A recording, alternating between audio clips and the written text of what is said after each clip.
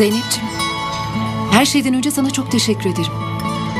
Kafandaki bütün bu soru işaretlerine rağmen Gonca'ya bu adamı bırak demediğin için. Başar bunu tekrar denedi. Ama çok pişman oldu. Artık yapmaz. Ben sana inanmak istiyorum Fahriye. Çünkü eğer Başar böyle bir alışkanlığa geri dönerse evliliklerini sürmesine izin vermem. Bu iş biter. Bunu yaparım beni çok iyi tanıyorsun. Zeynep ben sana Başar'ı da çok iyi tanıdığımı söylüyorum. Kalkıp hepimizden tek tek özür dileyemez. Hepimize tek tek bir daha yapmayacağına dair söz veremez. Ama eğer beni arayıp bunu yaptım dediyse, bunu diyebildiyse bir daha yapmaz. Ben onun sesinden, tavrından, bakışından anlarım. Zeynep, gerçekten çok üzgünüm. Ama ben ona inanıyorum.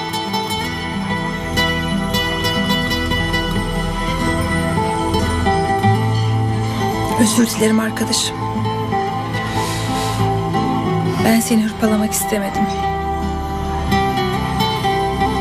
Evet, onlar bizim çocuklarımız. Ne olursa olsun onlara güvenmek zorundayız değil mi?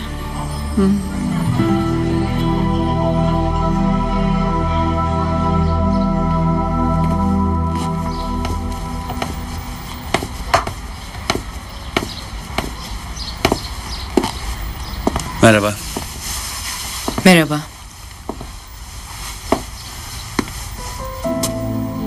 Gonca beni inceler gibi bakıyorsun. Yo yo sana öyle geliyor. Bakma biçimini tanımlayacak kadar seni tanıdığımı düşünüyorum. Öyle bir şey kullanmadım. Beni incelemek yerine bana açık açık sorabilirsin. Tamam. Peki eminsin değil mi? Kullanmadın ve kullanmayacaksın. Eminim. Kullanmadım ve kullanmayacağım. Ha babanı aramadığım için üzgünüm. Ama seni kendime güvendirmekte bu kadar zorlanıyorken ona da özür dilerim demek saçma geldi. Babam senden nefret etmiyor Başar. Sırf beni değil, seni de korumaya çalışıyor. Biliyorum. Zaten dün gece attığı tokat da bunu söylüyordu. Kendine gel oğlum. Bir şey mi ima ediyorsun? Hayır. Babanın bana olan sevgisinden eminim. Bunu söylemeye çalışıyorum. Babamla bir arkadaşı ve annemle yengemler bize gelecekler. Hı hı. Güzel. Bizi keyiflendirecek bir akşam yemeği olabilir. Ben hazırlanayım o zaman. Tamam mı?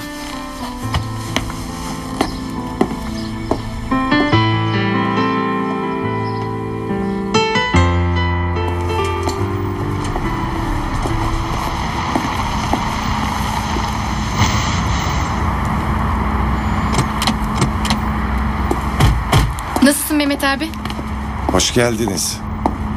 İyi misiniz? Merhaba, iyi. Sen nasılsın Mehmet? Eh şöyle böyle işte gene de şükür diyelim. İşinden memnun musun? Valla işte bütün gün ayakta durmaktan ibaret. Ama iş işte ne yapalım? Okul nasıl gidiyor kız? Ne olsun Mehmet abi? Üniversite için geri sayıyoruz. Olsun olsun. Aman kurtulacağım diye heveslenme ha. Sonra bu günleri ararsın. Biz ne dersek diyelim yaşaya yaşaya öğrenecek. Öyle. Zeynep içeride herhalde hala. Arayayım mı? Geldiğimizi sen haber verir misin? Valla ben kendisiyle konuşmuyorum. Sen ara istersen. Hoş geldiniz. Merhaba Ali Bey. Merhaba. Merhaba. Merhaba. Biz kaçıyoruz. Kendinize iyi bakın. Aile bağlarımızı koparmayalım. Görüşürüz. Hadi. İyi günler. günler.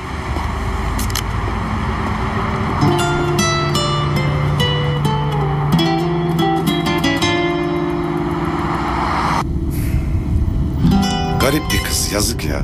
Gitti o salak İbrahim'le evlendi. Kendine yazık etti. E salaklığına yanacak o zaman. Sen de amma acımasız bir adam oldun ha. Kendi salaklığım için de aynı şeyleri söylüyorum. Ben de bile bile lades demiş bir salağım. Estağfurullah. Boş ver neyse ne. E bugün ne yapıyoruz? Sofra, şarkı, şiir ha? Nohut. Pilav, erkenden uyku. Haftada birden fazla alkol yok. Sana yaramıyor.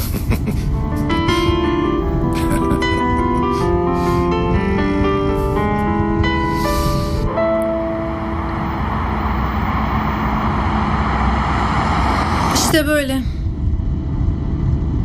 Başka şeyler de var ama sonra konuşuruz. Sen nasılsın Derya'cığım? Daha iyiyim Zeynep yenge. İsmail'den kurtulduk nihayet. Yeni bir erkek arkadaşımız var. Aa, hadi hayırlısı. Tabii canım en azından normal efendi bir çocuk. E kim? Okuldan mı? Yok değil. E, Gonca'nın sınıfından. Kim? Barış. Çok sevindim. Çok iyi bir çocuktur. Vallahi ben de sevindim Zeynep. Gerçi Derya kendisini getirip tanıştırmak istemiyor ama ben onun İsmail'den daha iyi bir çocuk olduğunu düşünüyorum. Öyledir, öyledir. Tamam anne. Anlattığıma pişman etme. Hem her şey çok yeni. Hayırlısı.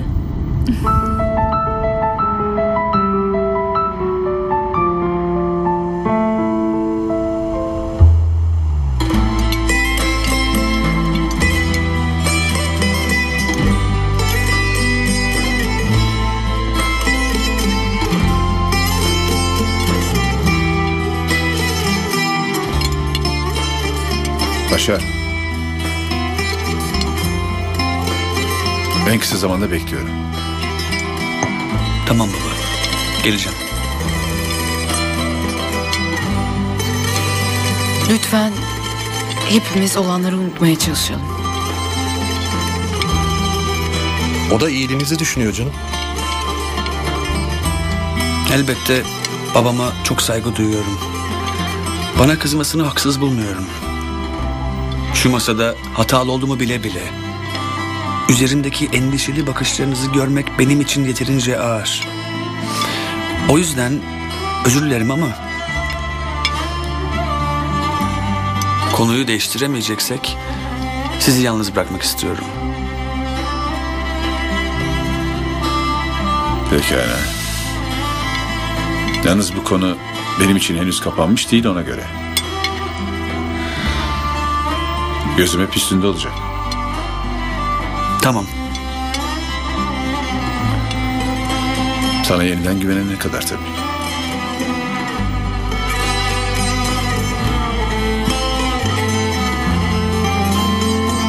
Yeni doğacak olan şeylere diyelim hadi.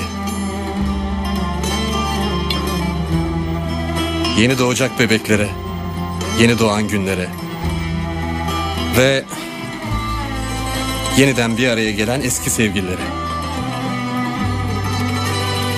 Aa Zeynep?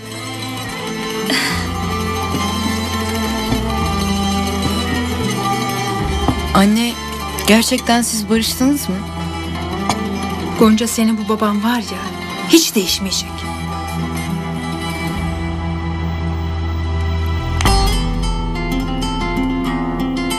Onu oradan çıkarırsan öyle bir gör.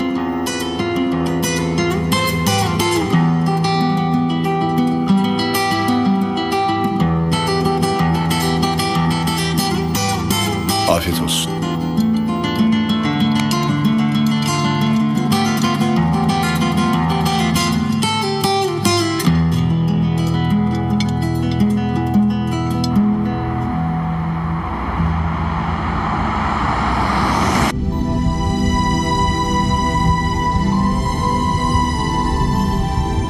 Oh be, ne güzel.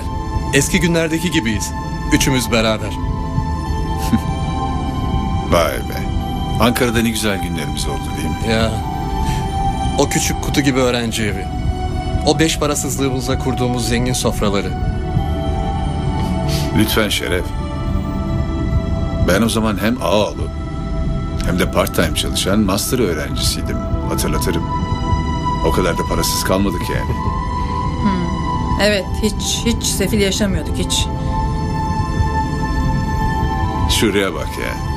Yıllarca içimizde tutmuşuz. Konuştukça neler dökülüyor. Şeref, seni bırakalım biz de evimize geçelim. Olur. Sen bu gece bende kalacağını mı düşünüyorsun? Allah Allah başka nerede kalacaktım? Bak Zeynep, kızımız için fikir ayrılığı yaşayabiliriz.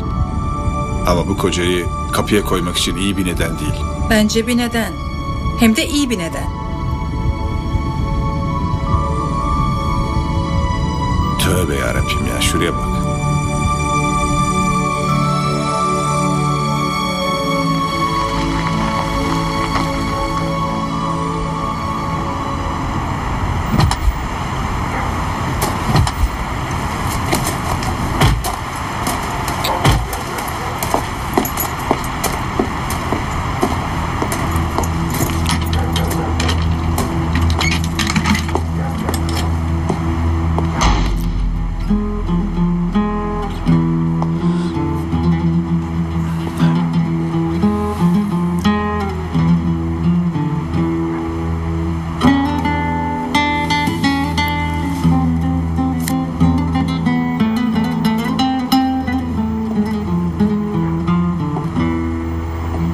Şeref neredesin?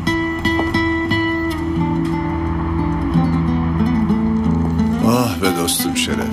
Ne iyi ettin de geldin. İyi ki geldin. Hadi sağlığına. Güzel günlerini duymaya. Sağlığına. Duyacaksın, duyacaksın. Duyacağım, duyacağım. Ah Şeref, duyacaksın da bu hep böyle tekerrür edecek. Zeynep affetti. Zeynep affetmedi. Beni eve aldı. Beni kapıya koydu.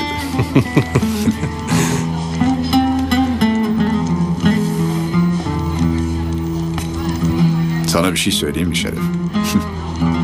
ben hala fena halde aşığım. Böyle Zeynep diyorum ya. Adı geçtikçe şuramda hep bir şey acıyor. Demek o kadar yani. O kadar. Bizim en güzel yıllarımız hep ayrı geçti.